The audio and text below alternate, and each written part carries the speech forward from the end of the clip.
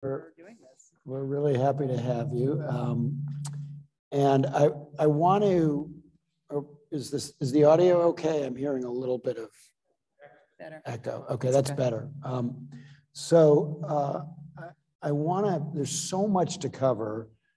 Uh, I want to focus mostly on the pre-presidency because that's less well understood. And your book covers it all, but you are the, um, you know, the, the greatest authority on his pre-presidential life, I think by far. Um, but before I jump into, you know, New York politics um, and business, uh, just in terms of today's news, so the January 6th committee issued a subpoena. Is there any chance that he will appear? There's a chance, uh, and thank you all very much for being here. Um, there is, uh, and Dave for hosting. Uh, there is a chance that he will say, yes, I will appear if you let me testify live and no constraints, no conditions.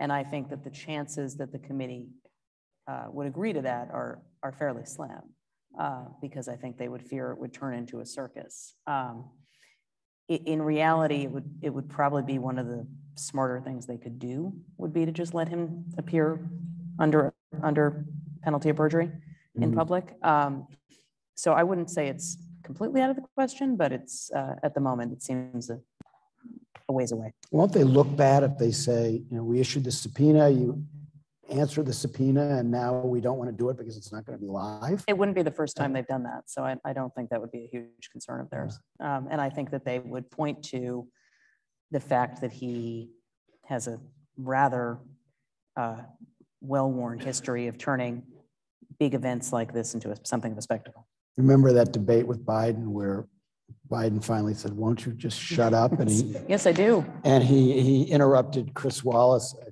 think, uh, literally a hundred times. It was a lot. of The debate. Yeah, it was a lot.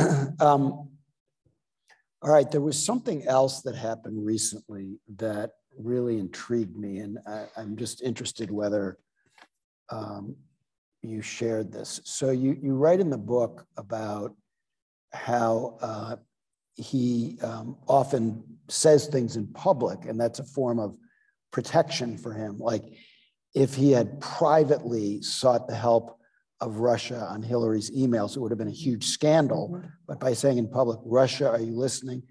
And he also projects onto other people Yes. things that he has done himself.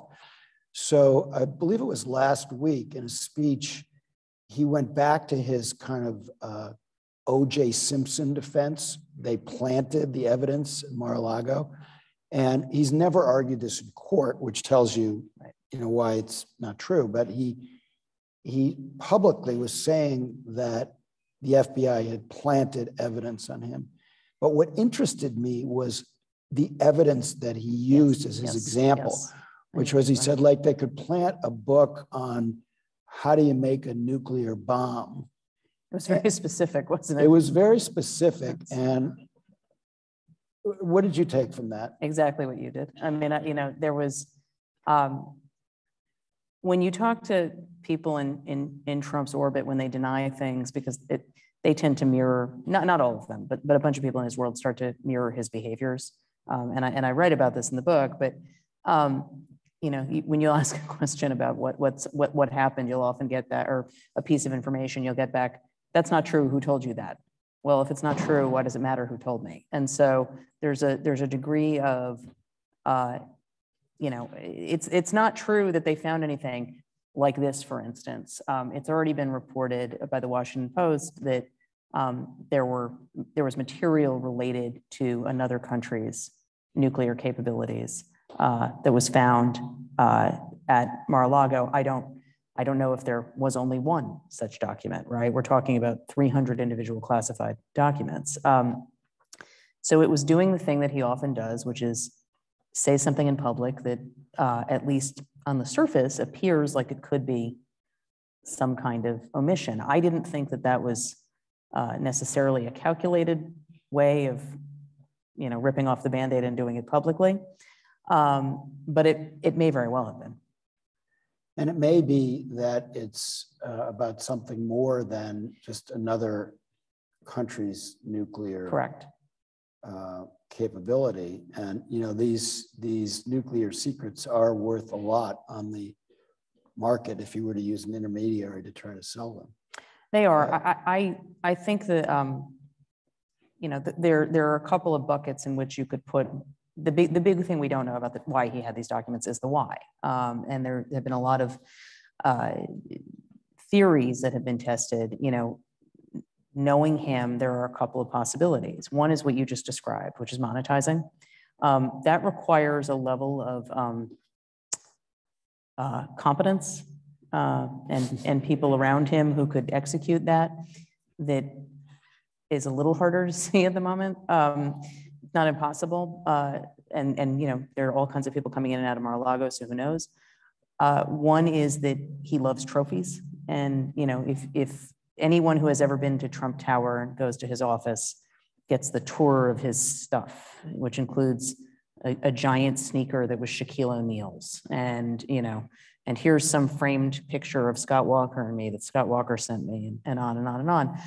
Um, you know, and in the, in the White House, he loved having trophies. The, the Kim Jong-un letters were trophies. Um, but ultimately with him, so much of what he does and seeks is about leverage and having leverage over someone else or something else, or other people, other, other, other entities. Uh, and I can't discount that either. Mm. And I, and I don't know what that leverage necessarily is, but everything is about what have I got that you want? And what can I use in some way? Um, So he described you as his psychiatrist. Uh, What do you think he meant by that? And, and how would you characterize, you know, your relationship?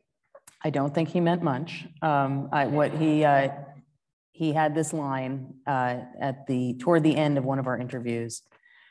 Uh, the, the last interview in September 2021. And, um, and he said, I love being with her. She's like my psychiatrist when he was sort of, you know, ventilating about something.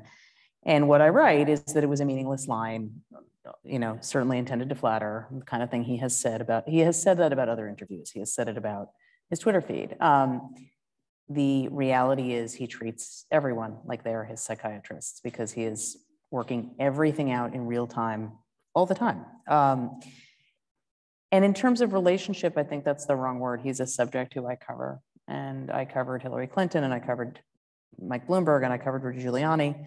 And at more of a remove, I covered three presidents. Um, you know, it's just different with him because he interacts with news coverage so differently. And he has such a specific fixation on the New York Times. And I'm just the person who covers him most often for the Times. Ben Smith made an interesting point that um, he, he argued that he needs you more than you need him. And I think one thing, we we're talking about this in the green room, that I think people who are not journalists don't understand is that getting the access to the principal, you know, whether it's uh, the president or someone, is not all it's cracked up to be. You don't, you don't really need their quotes Right. when you do find something newsworthy, contrary to some bullshit on, on uh, the internet, you put it in the New York Times in real time when he breaks news, which isn't that often. No, And the, the, um, uh, you know, the, I think the misunderstanding of the uh, reporter subject relationship is something that I'd like you to straighten out a little bit for people. Sure, and I, and Yeah. I, I appreciate that. Uh, and I do understand that, that people don't understand it or, or have misconceptions of it. It, what you, what you said about Twitter, uh, you know, I think one of the, the worst parts about Twitter is that a lot of people get not only their news from Twitter these days, but they get their understanding of journalism from Right. Twitter. And, um, there are a lot of misconceptions about, uh, about the profession and about the way journalism works. Um, particularly with Donald Trump. It's true with any, and you know this, you have interviewed more people than I ever will, but there are, you know, there's always, depending on who you're interviewing, there is always going to be a spectrum of what you're likely to get out of it. With Donald Trump, um, you, you, you're guaranteed that it's, um, it's not going to be uh, truthful throughout much of it. Um, it is not necessarily going to be um, coherent throughout much of it because he talks like this. Um, and so they, you know, going in and, and interviewing someone is not, and making sure that they're, you know, talking to you, I will cover him whether he's talking to me or not. I don't need his permission to cover him. And he's never actually understood that. Um, he, he just fundamentally doesn't understand what journalists do, which is puts him in a in, in that same category. Um, the way that I approached these interviews was they offered me the first one. And I, I literally thought, and they offered everybody basically who was doing a book a first uh, an interview, almost everybody, um, because that's just how he is, and he kind of can't help himself, including Michael Wolff, who wrote the you know the, the, the sort of most damning initial book portrait of the Trump White House. Um, and when they when they offered it to me at first, I thought, I'm really not going to get this is I'm not going to get anything out of this. And then when I went down there, he was actually um, he said much more because I was talking to him about New York and the past than I had expected him to.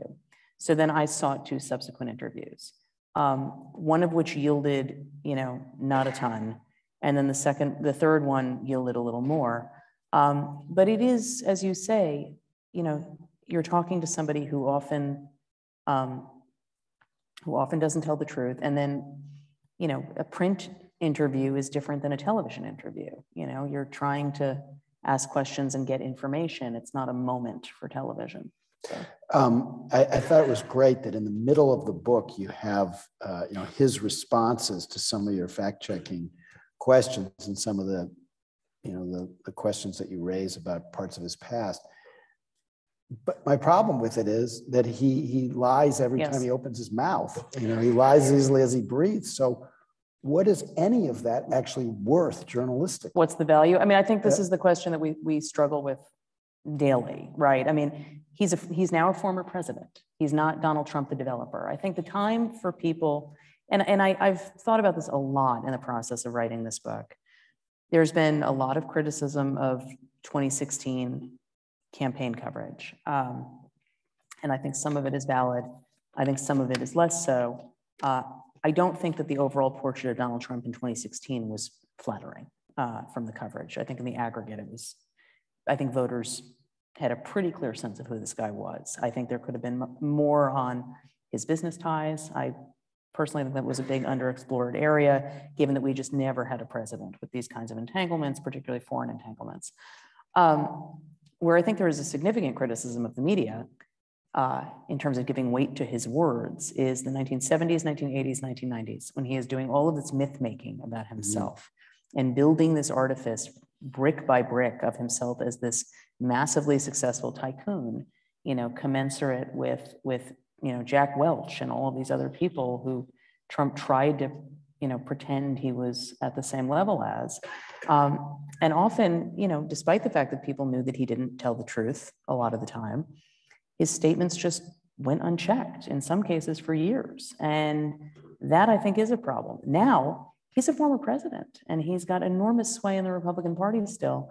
And at least when it comes to a book about his life, he's still the only person who can answer some of these questions. So I felt yeah. the need to go to him. Um, the uh, uh, you know my overall take on him, and I'm wondering whether this is yours as well, is that just when you think he's touched bottom, he crashes through the floor. Right? So, so do you see? Because you have this, you've been covering him for more than 20 years.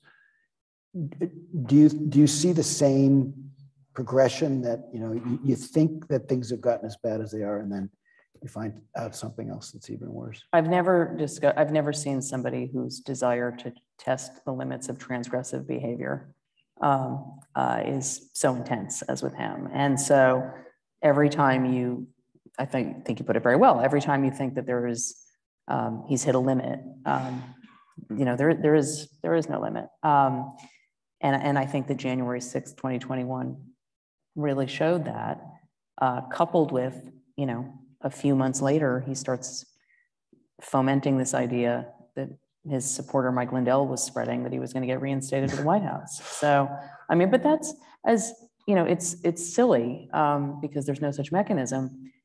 But there are supporters of his out there who don't realize that, and so it is something that is very dangerous to be engaging in and encouraging conservative writers to um, to spread, which is what he was doing in 2021.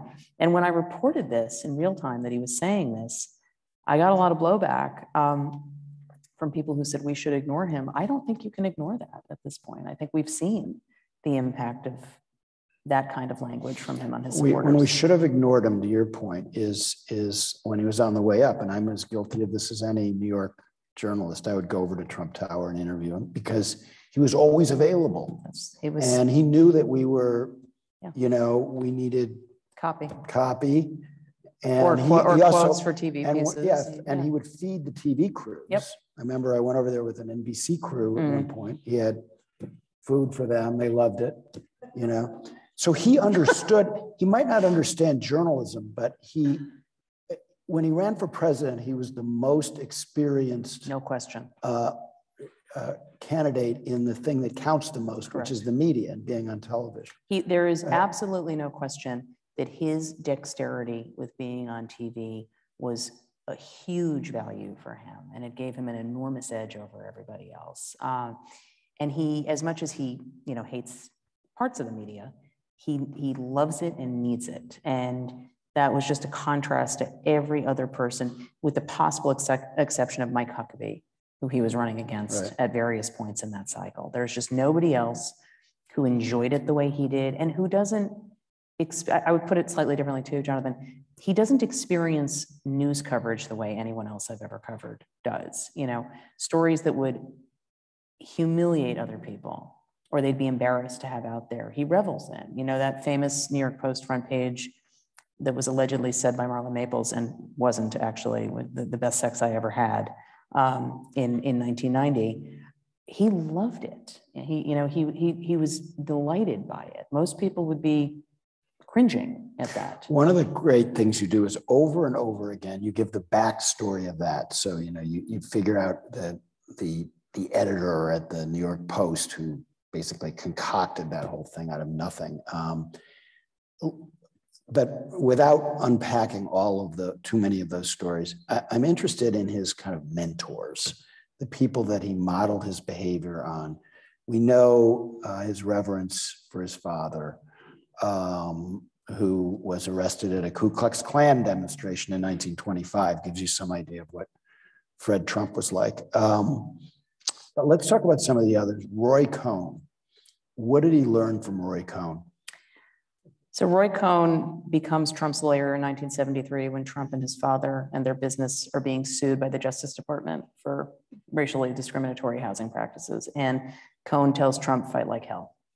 And Trump learns a couple of things. One is that you can use the court system interchangeably with public relations. Um, you can shout as loud as possible and try to keep whoever's challenging you at bay for a while that way. You can threaten and intimidate and menace. Um, even if you settle, you won't say you're settling. And most specifically, what he learned is that the role of a, of a lawyer could be turned into something almost like a mafia don, like just something completely different um, than, than what lawyers are supposed to do. Um, a longtime Trump friend has said to me on several occasions, uh, Trump likes lawyers who are willing to do anything.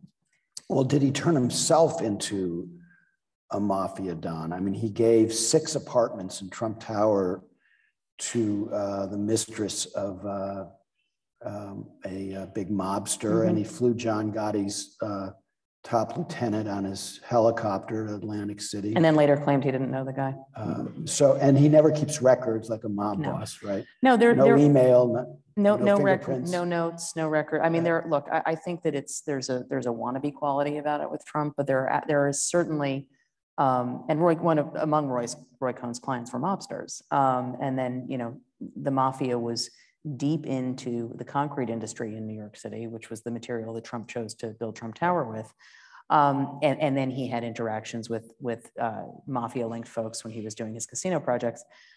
Um, you know, at minimum, Trump has no problem with it. At, at, at most, I would say he, he gravitates toward that. Um, and he certainly adopts those kinds of behaviors in um, giving, and Michael Cohen talks about this all the time, you know, that Trump sort of speaks in a code and gives, gives you a sense of what he wants you to do without openly saying it. So um, we know that he adopted um, this character, John Barron, then he named his son Barron, you know, where he'd pretend to be this other guy on the phone.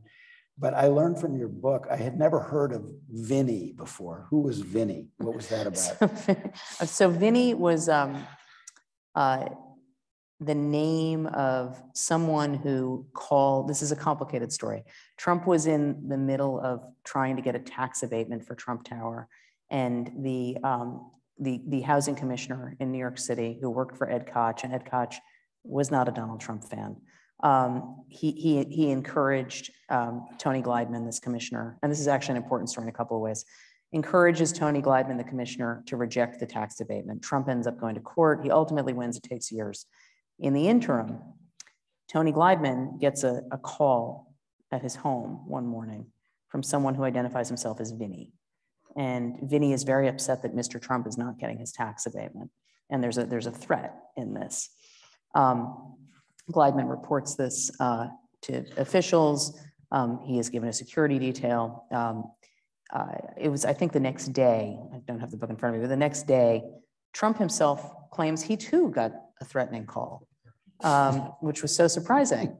Um, and, that and, and that call became known many years later when the FBI files were undone. Now, there's no hard proof of who called Trump, but there is widespread skepticism for people around Tony Gliedman that, uh, that it was Trump himself.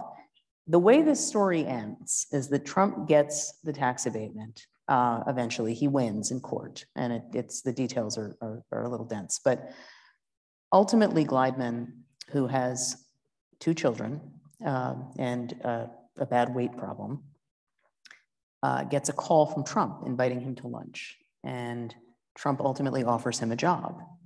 And Gliedman takes it. And Ed Koch almost fell over when he found out that Gliedman was going to go work for Trump. And I would argue that that was one of the very earliest examples, at least that I know of, of Trump threatening someone and then them giving in. Right. Bending them to his will. Bending them to his will. Um, and he told him he'd only hire him if he lost weight. Said he had to lose weight was one of the conditions. Sort of like saying to Larry King on the air, you've got bad breath. Right, and, and scooting away from him. Um, all right, so other people that he modeled behavior uh, from, George Steinbrenner. What So- did you learn? So Steinbrenner um, was this sort of avatar of hypermasculinity in the 1980s when the AIDS era was beginning. And Trump, um, Trump was terrified of AIDS uh, and, and talked about it all the time. And after shaking hands with men, would you know call people, call reporters, and say, "Is blah blah gay? I just shook hands with him." Um, and from Stein, you know, Steinbrenner was this you know, big tough guy who, you know, is also a child of privilege like Trump and who uh, had a healthy dose of, of uh, self-regard like Trump. And Trump hung around him and hung around his crew. You know, he had he had friends uh, like a like a man named Bill Fugazy, who also was friends with Roy Cohn, uh, Lee Iacocca. There was this crew, and Trump wanted to be like them and found himself emulating this hypermasculinity. Um, Steinbrenner was famous for firing his managers, um, except he wasn't doing it by play acting. When Trump, Trump, who really doesn't like firing people directly, when he's doing The Apprentice, starts with "You're fired," and it was pretty widely seen as an homage to Steinbrenner. And that, that changed, that show changed everything for him. I, I think most people are pretty familiar with that, but they're not familiar, many people, with a man named Meade Esposito. Who was he and what did Trump learn from him?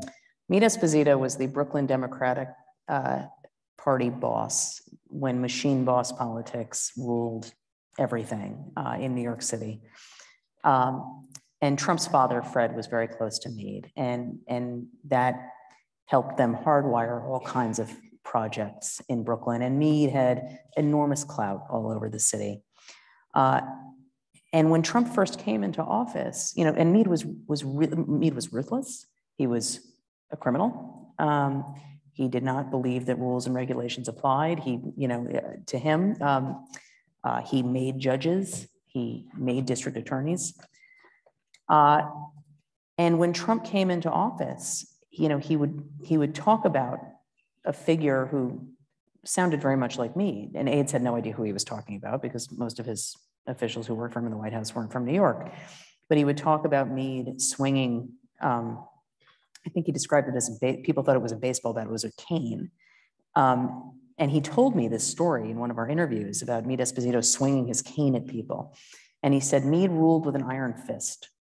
And Meade is one of the people who helped inform Trump's idea of two things. One of how a, a, a political operator functions and rules, which is just top down.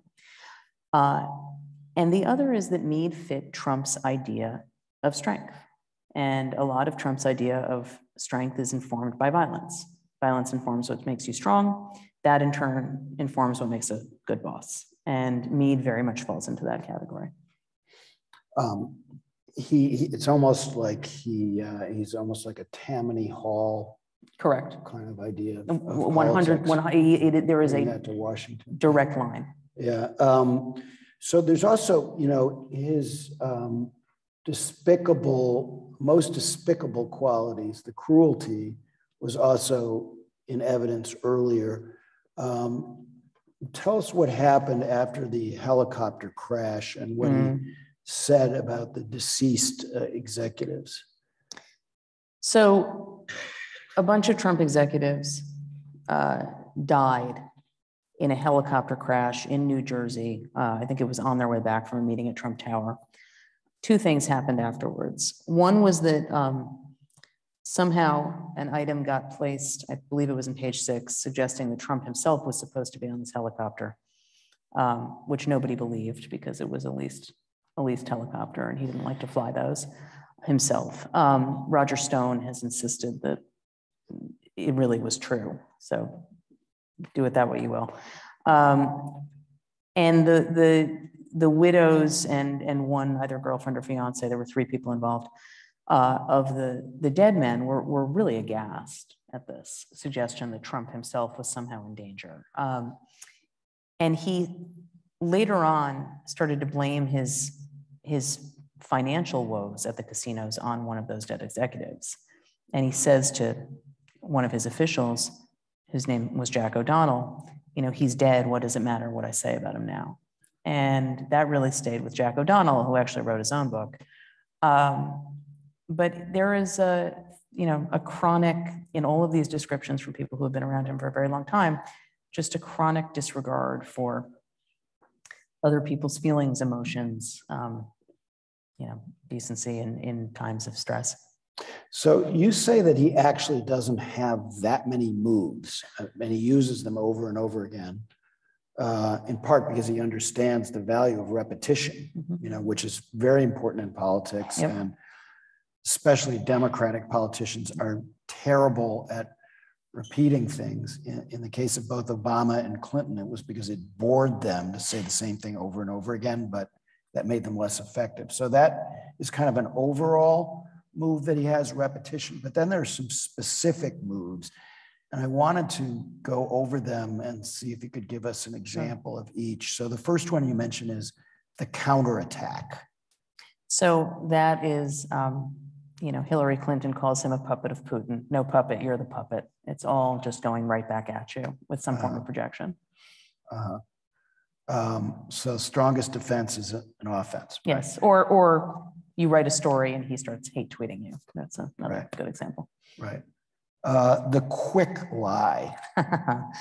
Uh, In, in one of our interviews, I asked him what he was doing during the January 6th attack, which at that point was not um, part of the, the actual, you know, under oath public record because the House Select Committee hearings hadn't started.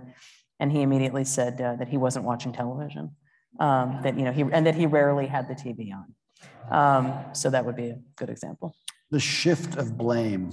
I mean, there, there are so many on those. Um, uh, You know, it's, it's my campaign manager's fault that I'm losing. Um, uh, threatening to sue his campaign manager because the poll numbers are bad. Um, uh, you know, finding finding some aid to to shoulder whatever crisis is going on. Nothing is ever his fault. The distraction. Well, that one is, you know, uh, there's a there's a there's a bunch in that in that category. But uh, for instance, um, and this one, you know, people insist that these photos showed up organically, but uh, when he was in the middle of a lot of questions right after the Republican National Convention in 2017, uh, 2016, sorry, about uh, about Russia and about his comments about Russia. Um, and this was after the email hacks of the DNC.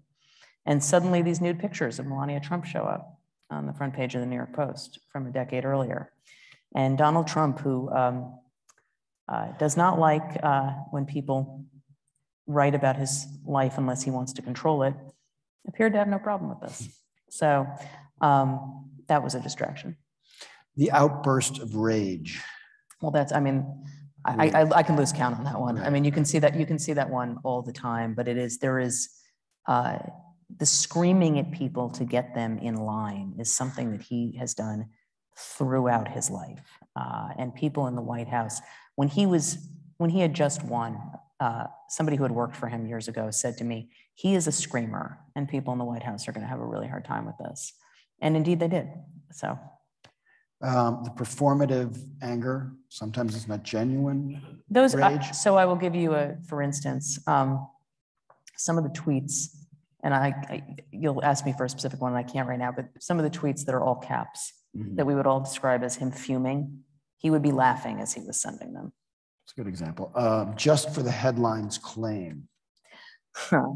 Uh, well, let's see, um, Obama tapped my phone would be a good Right. example of that one in 2017, with no evidence um, other than some Breitbart story that he was reading, uh, but knew he would get a headline out of it. Right, or, or one that just got blown apart today. He said um, that Pelosi didn't do anything to protect the Capitol. Yes. And video came out today of her trying to, you know, get the National Guard there. Guard there and, you know, in the middle, in the middle of the day on January 6th, and Trump, of course, is doing nothing. Um, uh, So I think you call it indecisiveness masked by compensatory lunge. Um, so when he couldn't, I mean, this is going to sound hard to believe, but he really couldn't after November 3rd in 2020 when he lost. He could not decide what course of action to follow when it became clear that he was not going to be able to stay in office anymore. And he was quizzing everybody, including the valet who brought him his Diet Cokes. You know, what do you think I should do? Um, and then after he doesn't get what he wants, uh, from anybody and and it becomes clear that he's not quite ready to pull the trigger on this proposed government intervention that Mike Flynn, the former national security advisor, is telling him he should do. Um, he sees Seizing, seizing the voting machines, Correct. like in a Yes. fascist regime. in Yeah. it, like yes, using executive orders to do so. Yeah. Um, he suddenly seizes on January 6th and throws all of his energy into it. And I would put Mhm. that as a, an Mhm. example. Why do you think uh, so little sticks to him? Why is he the ultimate Teflon president? I think a couple of things. Um, I think the fact that he was part of the pop culture fabric for so long, and part of this does relate to The Apprentice, which you mentioned, uh, not entirely, but what became clear in 2016 was that voters felt very, his voters felt very bonded to him in ways that they really didn't with previous candidates. There was this huge desire to win.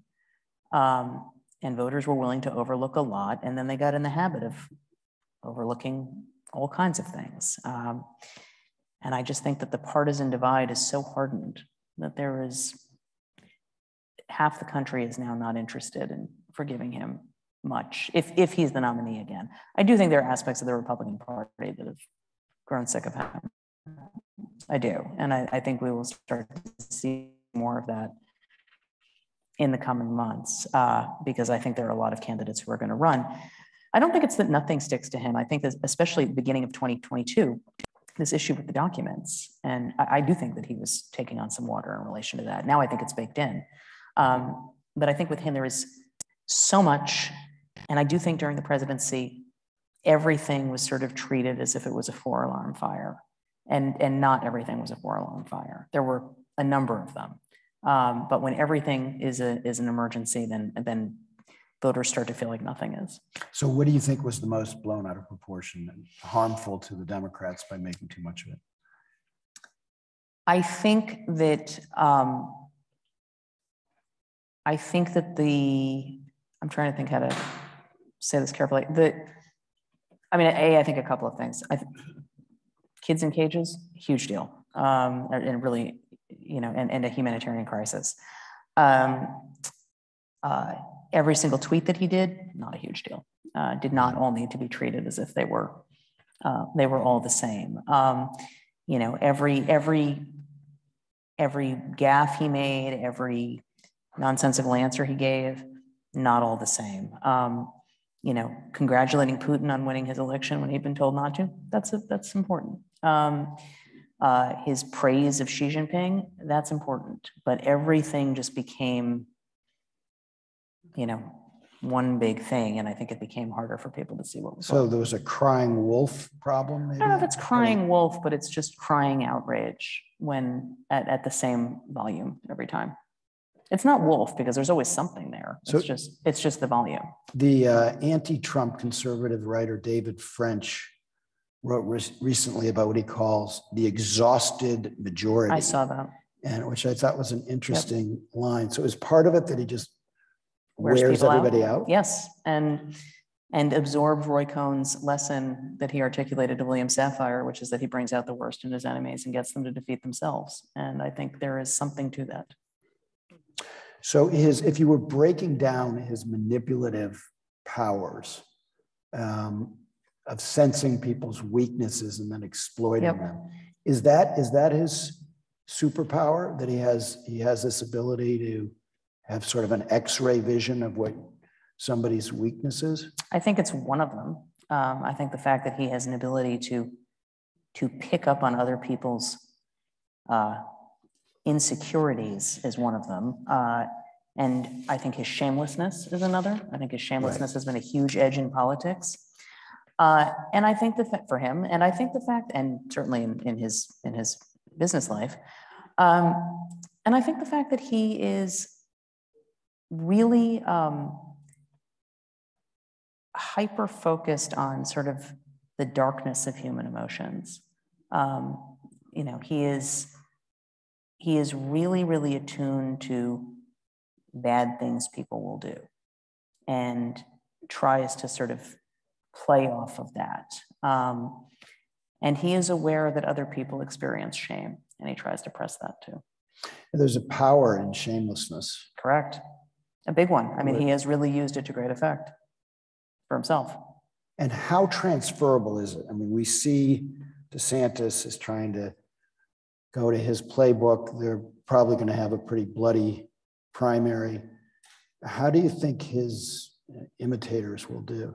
I think not that well. I think that, you know, including that I'm not convinced that there's going to be a DeSantis Trump primary. You're not. I'm not. I mean, Why? I think because I think that everybody talks about wanting to, you know, they'll be the ones to take him on. And it's actually pretty unpleasant for everybody who does. And so stepping into that meat grinder is, um, is more challenging than it looks. Well, in private, he says of DeSantis that he's whiny, fat, and a phony. Uh, so that gives us some. I think the warm-up material is definitely visible. yes. Right. Well, and I don't, and I don't think that. Um, you know, DeSantis is in the middle of dealing with a hurricane and dealing with a natural disaster is obviously very different from any governor. Um, and we have seen a, a, tempering by DeSantis of some of the things that, you know, he, he appeared with Biden. Um, he has he has been less combative, um, but he has had mo- he has had moments prior to Hurricane Ian where uh, he has seemed less than ready for prime time. Uh, mm-hmm. and so I think that there's a very long history of Republican donors and members of the media anointing someone as the next whatever. And it doesn't always come out that way. Scott Walker, Tim Pawlenty. I mean, yeah, I mean, I can go down the list. And so uh, we don't know yet. I wasted a lot of time covering those people. And so, so did I. I mean, to be clear, I, I count myself among those reporters who, who, who have done that. But you Um, think yeah. that Trump's heart really isn't in 2024? Why? Because I think that a couple of things. I think that um, I think he's really consumed by these investigations. Um, I think that the the documents investigation in particular is really scaring him. Uh, I think that the press accounts by CNN, the New York Times, Washington Post are showing uh, patterns of behavior that I think are alarming some of his own advisors and that he's aware DOJ is paying attention to. I mean, the, the, the main proof that he is worried is that he spent a $3 million upfront retainer on a lawyer whose advice he has completely ceased to listen to, PS.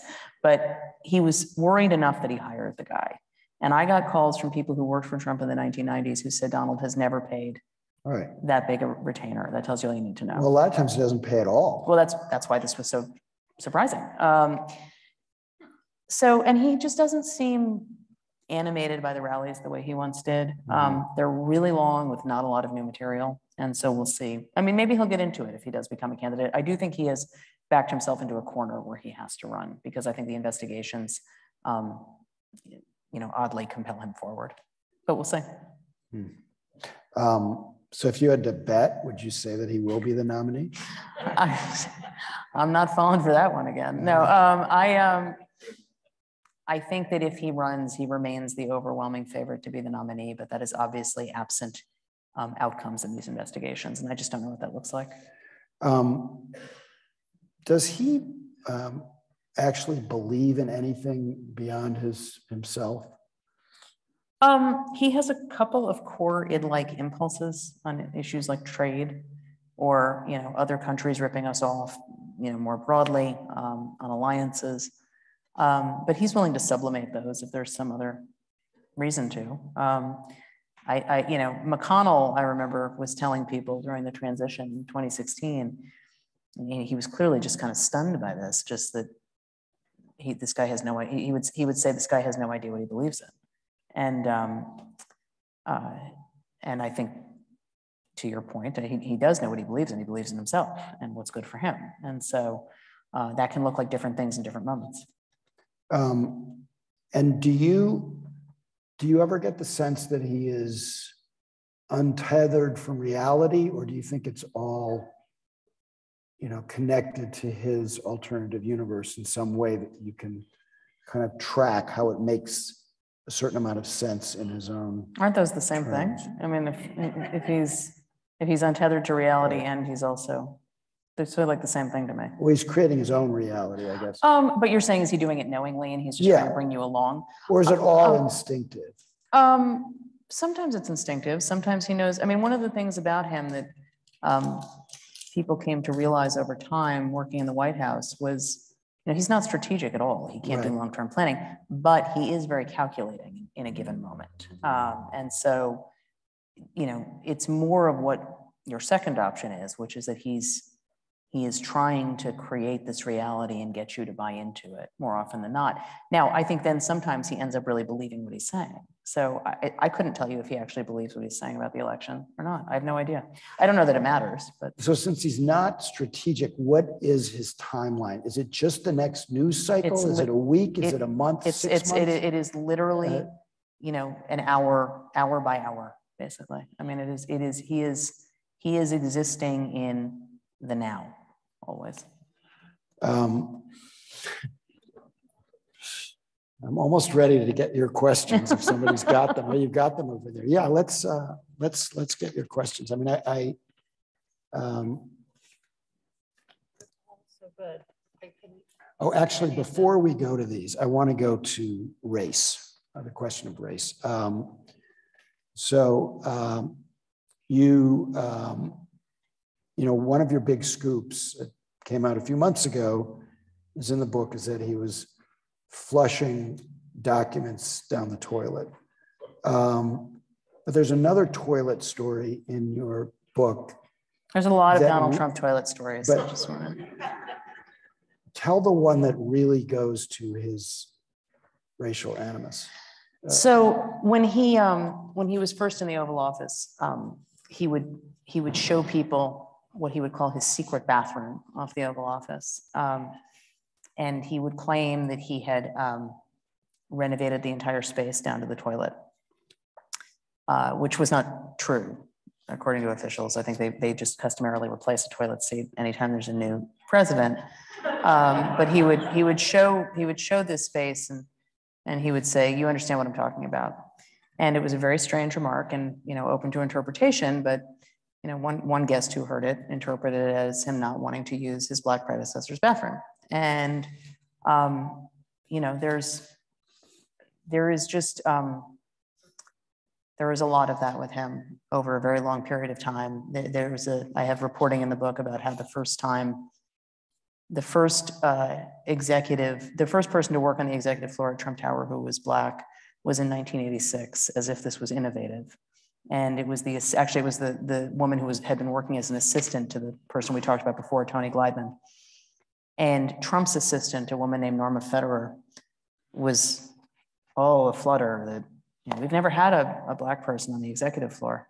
Um, and then it was deemed that she was she was so pretty she would fit right in. Um, but it's you know it, it, it's just it just it, it is it is a, a, reminder of a couple of things, but one of which is actually that as much as New York City is seen as a progressive um, beacon, there are aspects of it that really are not. I mean, some of the big public things like birtherism was was, was thoroughly yeah. racist, but there are detail other details you have. Like I didn't know that he had a girlfriend before, just before Melania. That's over, overlapping with her. Yeah, overlapping with Melania. Um, half black, father was White. white, mother was black. And he, What, he what did told, he say about her? he met her parents and he told her that uh, she got her beauty from her mom and her brains from her dad at the white side. Um, so let's let's uh, uh, look at some of these questions from all of you. Um, what um, do you think motivates the children? Do you think that they uh, are politically ambitious? I think, I think Don Jr. certainly is. Um, Ivanka, yes, but I would quite frankly be very surprised if she actually ever ran for office, given what it entails. Uh, I don't think Eric Trump is at all politically ambitious. Um, so this question um, is uh, uh, sort of about his style in an interview. Um, um, you know, so what's the feel you get from him when you're sitting right across from him? Is he is he charismatic in, in person? Is he does he try to bully you? Is he, He- charming you? Yes. Uh, You know, I mean, he, he, all of, he can be all of those things. I have interviewed him when he has been charming, which he was in the first interview I did for this book. Um, and he was in salesman mode. And then I've interviewed him, you know, at other times, particularly one very memorable one in the White House in 2017, where, you know, we walked in and he had his hands jammed in his armpits and he's sitting behind the Resolute desk and he's rolling very heavy with like eight to 10 aides sitting around the, this is not normal to do in, a, in an Oval Office uh, meeting with reporters. Um, and so there are there are times when he tries to menace and intimidate, and times when he doesn't. It just depends. And do you think it depends on his mood or is there calculation?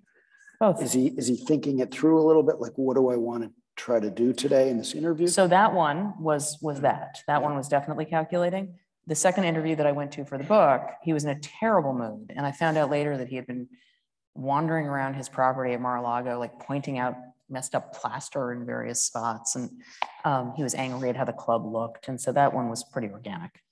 Hmm. Um, so, um,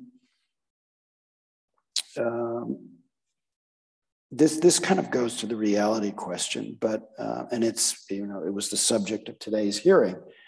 Um, how much do you think he accepts that he lost the election? I don't think he accepts it at all.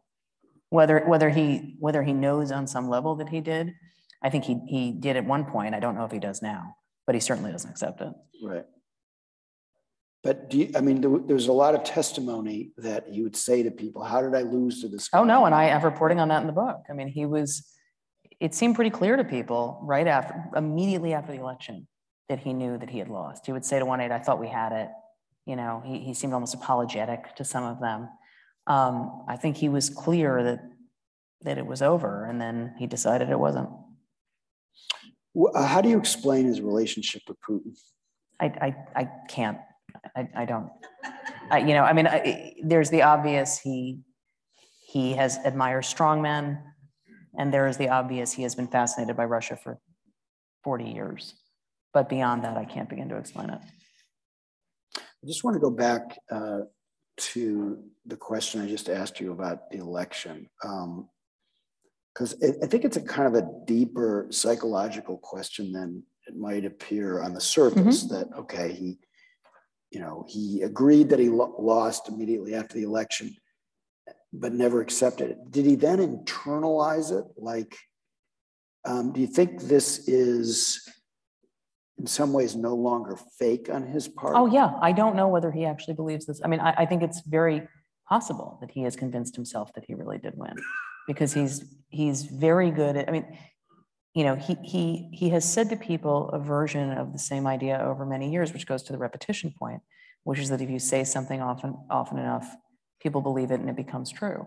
That's true of himself too. That's That's Joseph Goebbels. I know, I know, I know, I lie, I right? know the, I know the heritage on it. Um, but, uh, By the way, you mentioned the Mein Kampf that uh, uh, Ivana Trump said that he had Mein Kampf and somebody else said he gave him a book of Hitler's it was the speeches speeches. Yep. Um, and his bedside table. What do you make of that? I don't think he read them, but I think that he, um, uh, but I think that he has had a fascination with, with Hitler um, for a while.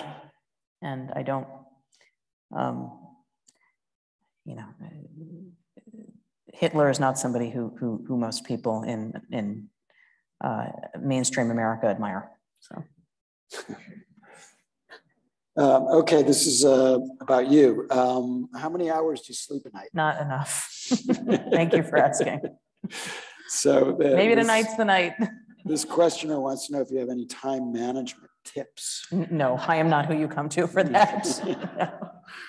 Sounds like you do. Um, um, Do you think Trump is evil? That's a really hard question to answer. Um, I think that he is, he is comfortable enough with behavior that is evil. And I think that that's, that's probably about as far as I can assess that. I'll answer it. Yes.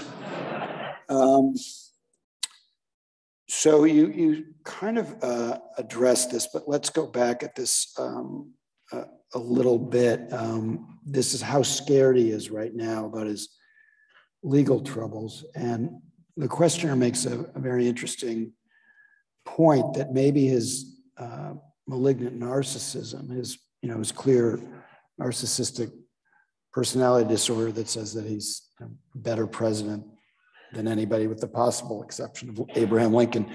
Um, But might that actually prevent him from feeling more vulnerable? Or does that not actually work? That Does the narcissism not help guard him against feeling? He really understands legal problems. I would just put them in a very different category than almost any other. It is the thing that he has been most acutely attuned to all of his life. And he has uh, spent a very long time trying to cultivate prosecutors, going back to, you know, Robert Morgenthau, Morgenthau. great figure of, of integrity. I was disturbed to hear that he was as close to Trump as he, he was. And, and, and it is one of the reasons I think that Trump felt kind of comfortable that nothing bad was going to happen to Trump. Um, But he, uh, uh, I just think that he experiences legal issues on a different level. So he, was he not that scared of uh, the New York uh, DA's investigation? Cy Vance was investigating, then Alvin Bragg basically dropped it. I mean, he's now No, he going was- back to, He was very concerned about it. he was. And then he didn't get charged. And so I, you know, it'll be very problematic for his company when this trial takes place because there are charges against his company. And, and Allen Weisselberg, the CFO, who pleaded guilty uh, a couple months ago, is going to testify. Um, But Trump himself wasn't criminally charged, and that really has become how he looks at all of these things. I mean, that as unhappy as he was with the, the Tish James civil suit, the New York Attorney General, um, it's still a civil suit. Right. And that's the thing that they bear in mind. How about Fani Willis in Georgia? Um, you know, that, that one makes them nervous. Yeah, I mean, I, you know, he, he, he, he is facing a lot of legal problems. He is, legal problems are threats. He is acutely aware of threats. And so that is why he gets that. So a lot of Democrats think, well, he'll always skate. He'll always uh, Well, maybe he will. figure out how to get away with it. Well, he was Yeah. president. I mean, it was different. When he was president, the sitting president wasn't going to get indicted. And, you know, the, the expectations around Mueller became a little too great. Um, not, not by Mueller. I think Mueller was very, you know, sort of narrowly focused on his work.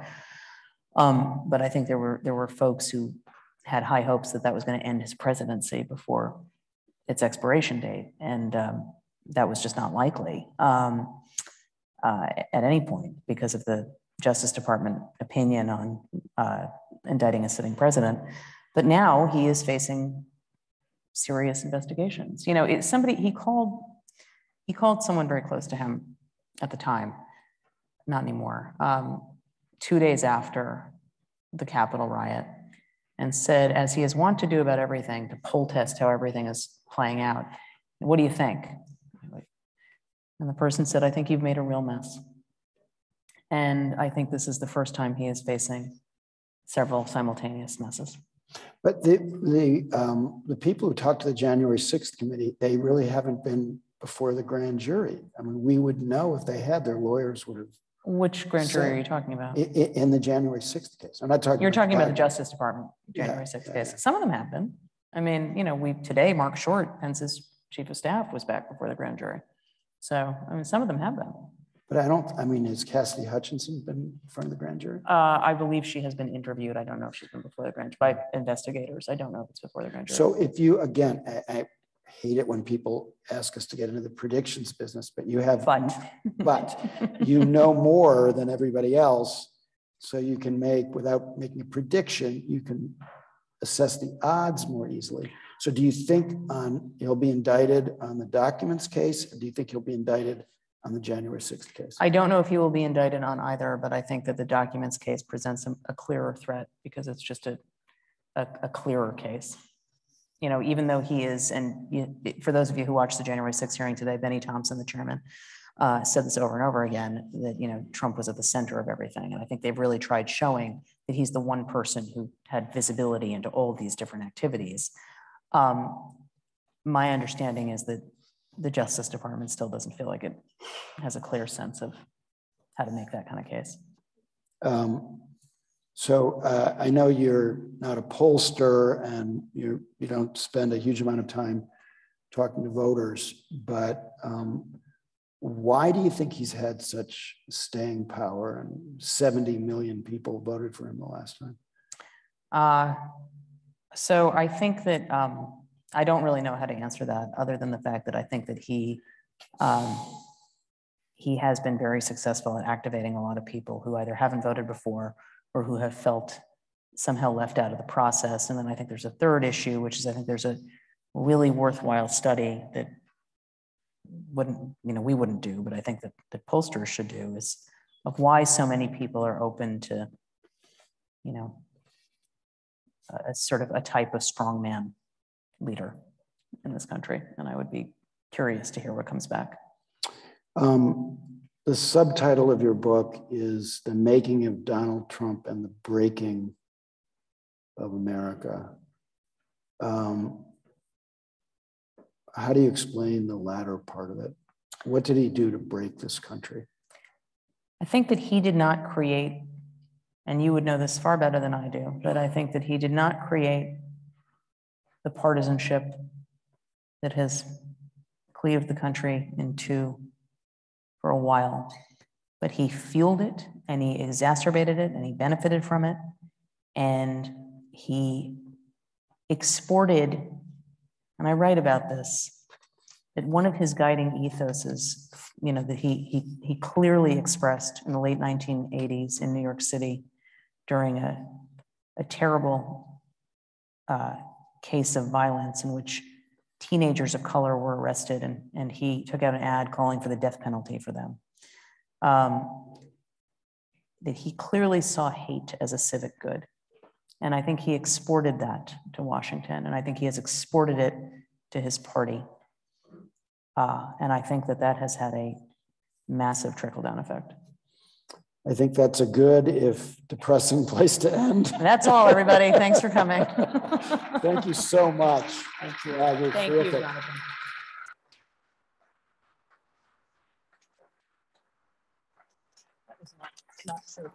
That was a